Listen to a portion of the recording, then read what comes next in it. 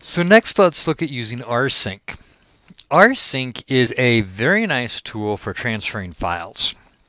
And we're just going to do a couple of quick examples of using rsync here.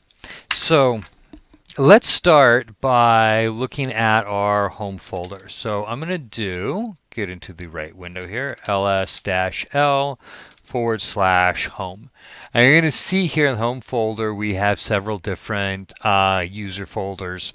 So that's all fine. We just wanted to see that it was there.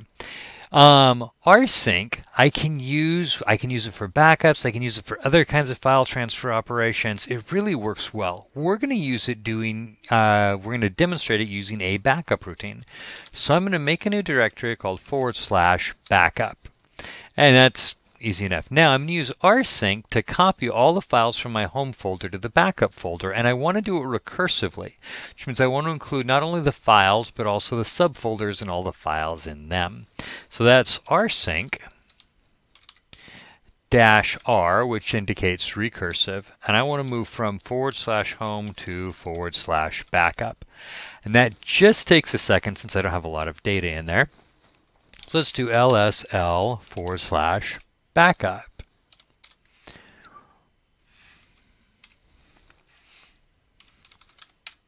Backup home. There we go. So here are all of the files from my home directory stored in my backup folder.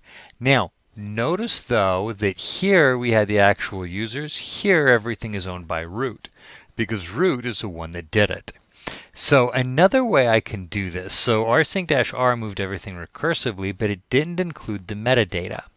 Let's try this again using another tool or another option, rsync-a, which is to archive. It creates an archive backup that includes the metadata, including permissions. So I want to move data again from forward slash home to forward slash backup. Now, if I ls-l backup, preferably with only one U, home, I still have all the data, but now notice that my permissions and my owners have stayed the same. So, rsync has a ton of options, literally, the, um, that you can go through, and it gives you a lot of flexibility for transferring data. So just a tool, it's a tool that you're probably going to want to spend some time with. And we just demonstrated real quick how to do a simple backup with it. Now, remember in a previous video, we talked about using cron tabs and scheduling tasks. So using rsync, I can do a backup uh, scheduled at a specific time. And then using something like Samba or NFS, where I can have a share on a remote system, I can connect to a remote share and then back up using rsync uh, from my local system to a remote system for a remote backup scheduled via crontab.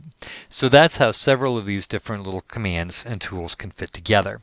So uh, spend some time with rsync. Um, look through some of the help information, look through the man pages, and get familiar with it because it is a very, very useful tool.